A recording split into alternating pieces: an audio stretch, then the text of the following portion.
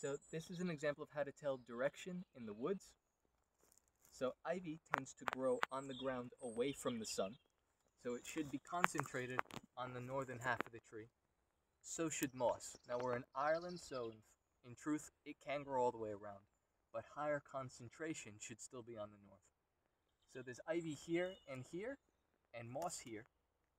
So theoretically, that should be a northerly direction. Got a little pocket compass here. And north is directly behind me on my compass.